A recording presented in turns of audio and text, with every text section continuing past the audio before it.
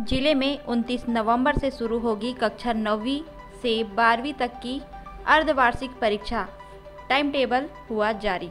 सरकारी स्कूलों में अध्ययन करने वाले बच्चों की अर्धवार्षिक परीक्षा का टाइम टेबल जिला मुख्यालय द्वारा जारी किया गया है, जिसके मुताबिक कक्षा नौवीं से बारहवीं तक की अर्धवार्षिक परीक्षाएँ 29 नवंबर से शुरू होगी, जो 8 दिसंबर तक चलेगी, जहाँ कक्षा नौवीं और कक्षा ग्यारहवीं की परीक्षा विभिन्न परीक्षा केंद्रों में सुबह 9 बजे से 12 बजे तक आयोजित की जाएगी। तो वहीं कक्षा दसवीं और कक्षा बारहवीं की परीक्षाएँ दोपहर साढ़े बारह बजे से साढ़े तीन बजे तक आयोजित होगी।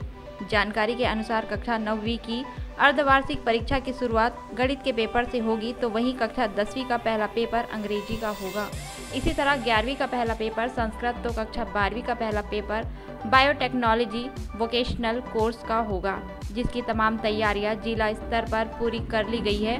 वहीं यह सभी परीक्षाएँ विद्यार्थियों स्कूलों में ही आयोजित कराई जाएगी।